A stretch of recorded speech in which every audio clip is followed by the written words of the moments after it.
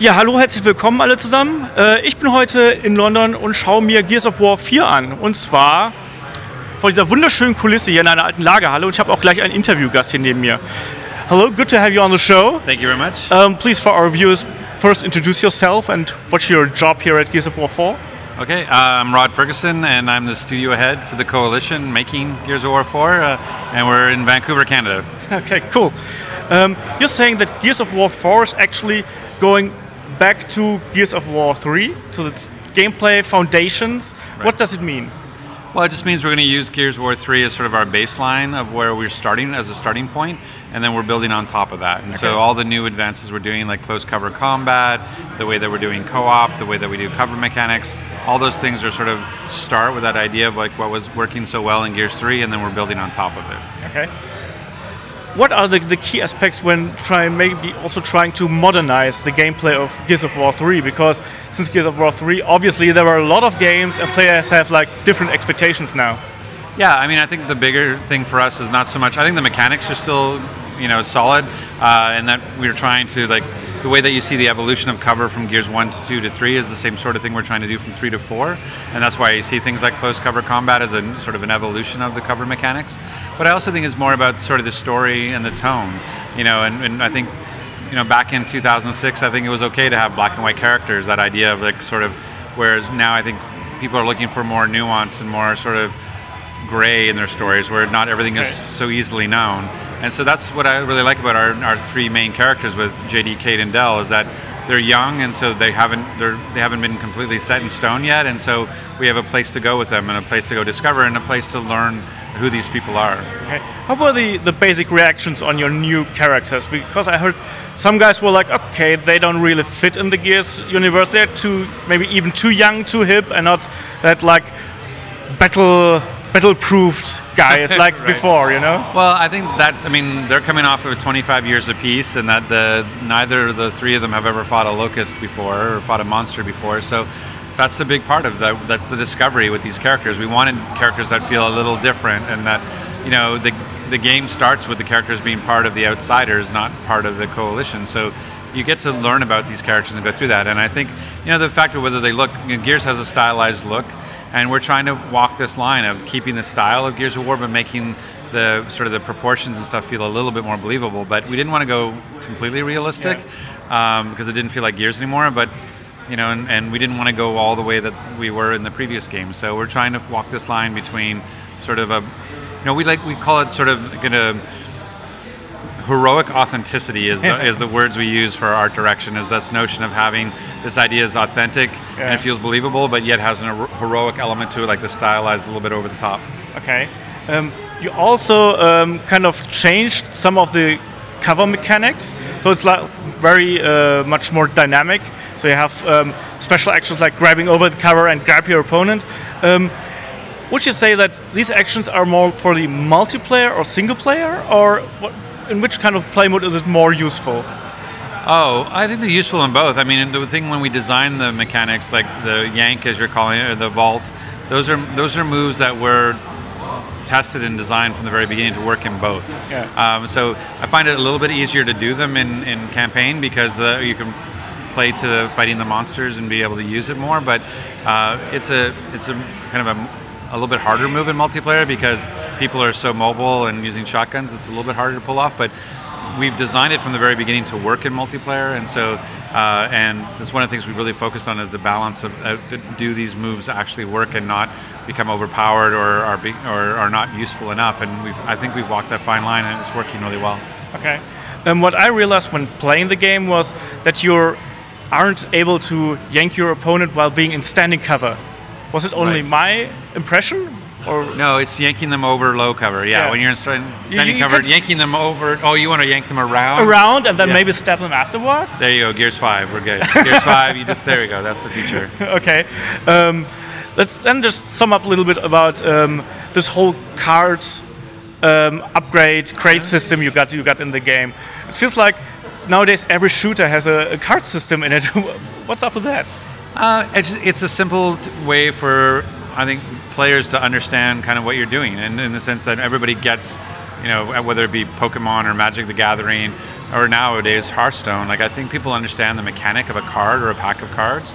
And so when we looked at, you know, when you look at Gears 3 and how successful that was with weapon skins and character skins, we are just like, how do we come up with a, a, metaphor where this stuff can make sense in terms of it's growing a collection of something? Yeah. Like you're collecting weapon skins, you're collecting character skins, and the cards felt really made a lot of sense for that to work that way. And I think, and and it helped a little that we were all playing Hearthstone two years ago when we started the design of the game. so like, oh, this seems like a really way to, natural way to do this.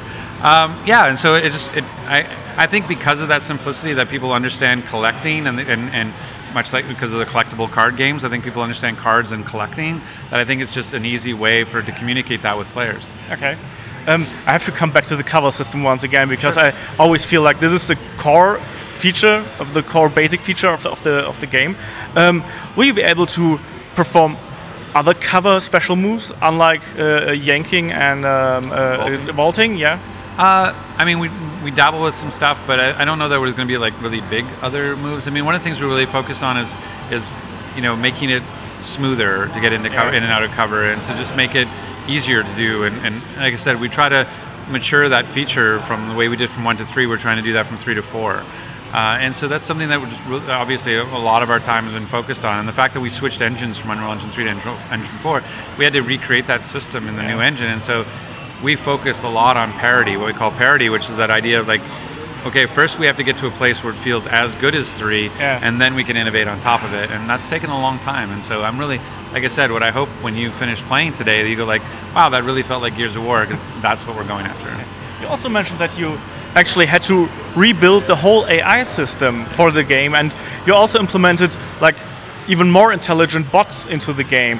Um, so, what was the challenge on the AI, and especially when bringing um, co-op versus mode to life? Yeah, it's it super challenging to go from. I mean, we had some structures in place, obviously, to look at from Gears uh, Three, but to have to rewrite all of our AI. And one of the things that's actually really challenging, we, I was surprised by, like when they rewrote our AI, at one point our AI was too smart. And, and you can actually there is such a thing as an AI that's too smart that if you every time you throw a grenade and they get out of the way and every time you go to flank they run and hide okay. then you realize you don't have these opportunities to actually impact them or, or be effective against them. And so it was finding this balance between uh, you want an intelligent AI that feels challenging and, and that you can play against but if they're too smart then it's actually not fun. So that was a big part. But then for multiplayer specifically we were focused on hey, when these when you play as a team in multiplayer, you generally have roles that people are their support roles and their aggression roles and there are people who sort of hang back and and so that was something that they were able to do is in, in sort of the revamping of our AI, they were actually able to put personalities onto them. So it's not like one bot plays the same as the rest of his team. Yeah. They now, the, of the five of them, they all have different roles and the personalities, and they play differently. Okay do they do they learn the behavior of the players when they when they continue playing? No, it's not a like a system that says, "Oh, I know he likes to do this, so yeah. I'll go and learn that." No, but it, what's nice is that we do have a difficulty system. So, you know, when people go in to play co-op versus where they can party up into a team of five humans against bots, they can say, "Let's try casual." Oh, we really we we dominated them. Let's go to normal or hardcore or insane, and you can sort of uh, increase the the difficulty of the bots as you play to find your level of challenge. Uh, nowadays, there are less and less games that have actually a split screen campaign. Uh-huh. And Gears of War for me always was a game I wanted to play in split screen. Sure. So is it in it?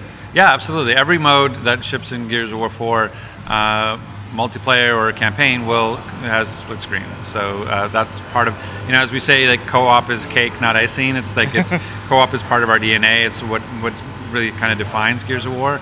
And so we feel like couch co-op is is fundamental to our game, and we wouldn't ship one uh, a Gears game without it. Uh, why do so few games um, uh, use split screen nowadays? Is it because of hardware? Is it just because it's hard to implement? Just because everyone's playing online, or what is it? I, I think it's just challenge. Like it was back if you go back to like 2006 when we brought out Gears of War One at that time, we, that, where we came up with the phrase "co-op is cake, not icing," is yeah. that at, in that time in 2006, everybody was announcing co-op, and then as you would go through the difficulties of shipping, they'd cut it, and so yeah. it kept falling away, falling away, and that was one of the things we said very early on: is you can never cut co-op, and it's really hard, like the, to replicate the game over the network between two players and the state of the world. It's not easy to do, and yeah. a lot a lot of work went into that. And I think that's what you're seeing probably today with split screen, and there's a, there's a technolo- technological challenge around how do you deal with now you've got subtitles for two different characters speaking from two different screens and you're you're rendering two different windows and so are you willing to drop the frame rate? Like for us even like in multiplayer you play in 60 frames per second but in split screen you're going to play in 30 because we're rendering two windows not one. So there's a lot of effort that has to go into it and so either you're either you're committed to it and it's part of what you're doing from the beginning or it becomes one of those things where you end up potentially having to cut just because it doesn't make sense from a technology standpoint. And the whole game will be in 1080p. Yes, the whole game will be in 1080p and it'll be 30 frames per second in uh, single player and it'll be 60 frames per second in multiplayer. All right. Thank you for your time. I guess you already heard maybe what a kind of fun we guys all had their heads with the game. So I'm looking, really looking forward to that. Thank you. Thank you very much. I'm glad you had fun. Absolutely. Thank you.